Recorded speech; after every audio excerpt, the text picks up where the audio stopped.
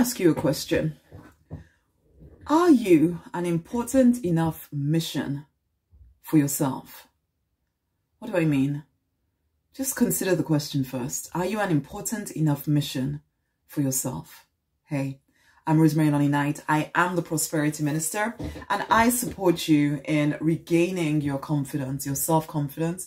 I support you in leaving behind the pain and the limiting beliefs of the past so that you can rise victorious in your true design life, living a life that feels good to you.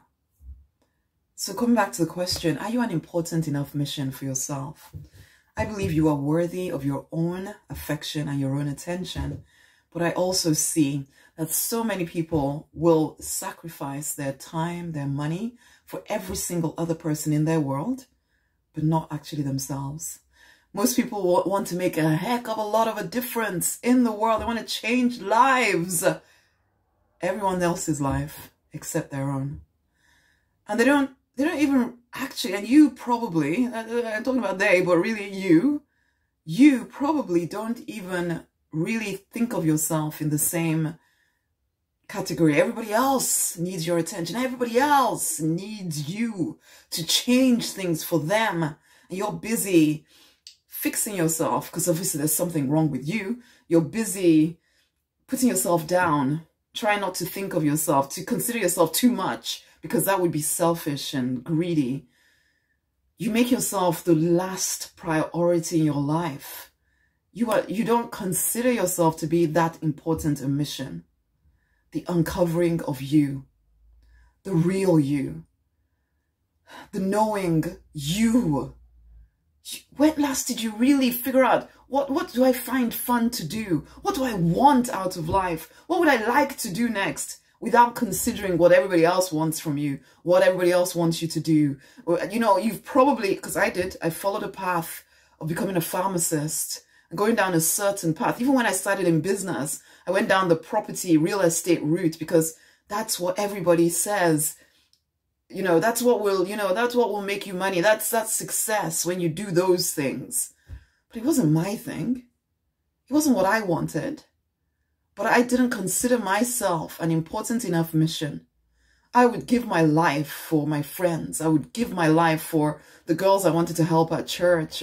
I would give my money for all the young people all the people i felt that were suffering and this and that and the other. I would do whatever to save them but I never thought about me, my brothers, my sister, my mother. I would do whatever I could.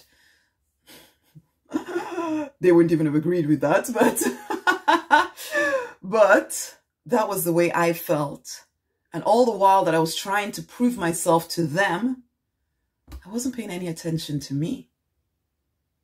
I know I talk about this stuff a lot because because I hope to come at it from different directions so that you finally start to realize that you are the most important mission that you are on this on this planet to uncover.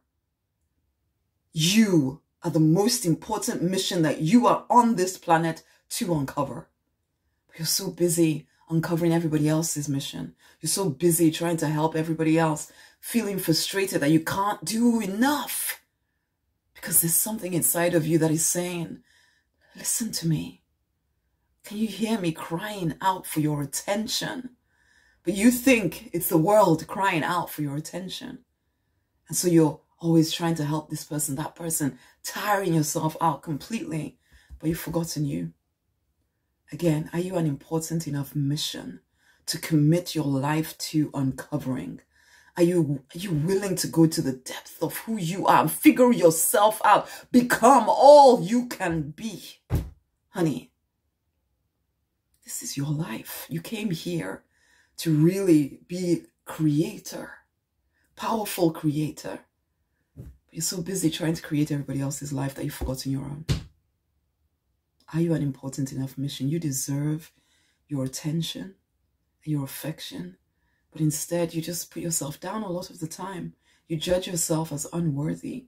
You judge yourself as always needing to be fixed. Oh, honey, Wake up.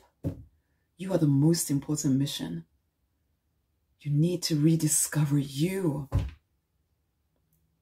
I come, come, come, come, come, come, come. Come into the Deliberate Millionaires Incubator. It's where you belong, honey. It is for driven, determined spiritual people such as yourself who are ready, ready to step into their true design life. Because if all the impact you want to have on the world, honey, you're not going to make any of that impact without first and foremost impacting you. Without first and foremost getting to know you and what it is that you are here to do. And starting to do that stuff, finding the courage to really step into who you are. You need to rebuild your self-confidence, honey, if you're going to do that. And what I'm saying to you is resonating, isn't it? Now pay attention. This is your life. Come, come, come, come, come, come into the Deliberate Millionaires Incubator.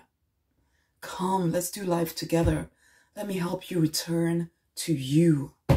Return to who you are so that you can have the impact you want to have on the planet, so that you can enjoy the prosperity in all areas of your life that you want to enjoy, not just for you, but for the people you impact, for the fam for your family, for your community. But it starts with you. It starts inside of you. So come into the Deliberate Millionaires Incubator. Come and make the decision to immerse yourself in a different way of seeing things, a different way of thinking about things. You deserve the very best of everything. Will you allow yourself to create it? Come on, honey. It's rosemarynonnyknight.com forward slash deliberate millionaire. Come on in. Okay? The link will be around this video. Also, could you do me a favor? Share this video with somebody else, okay? Share this video, okay? Much amazing love.